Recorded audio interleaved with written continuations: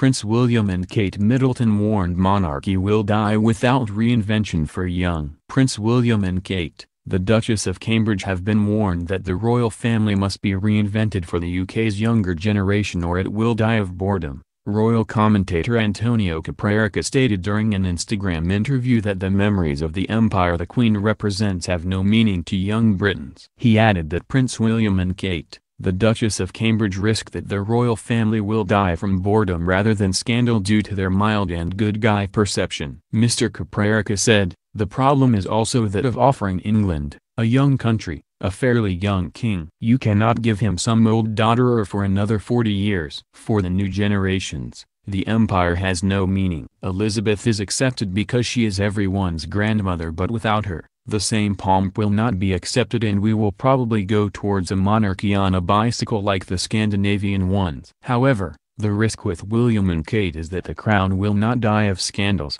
but of boredom. They are a fairly mild family, they are very good guys, while the Windsors have always been the object of a spasmodic curiosity for their stories.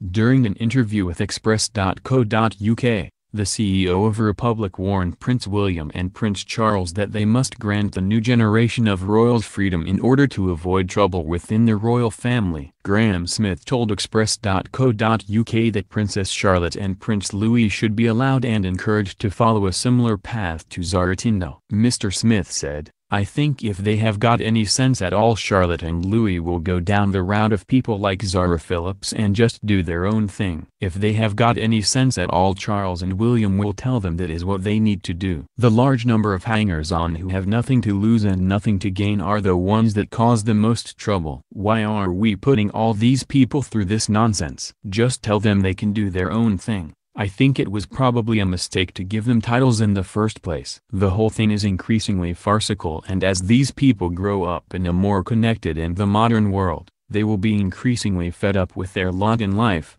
despite how luxurious their lot is.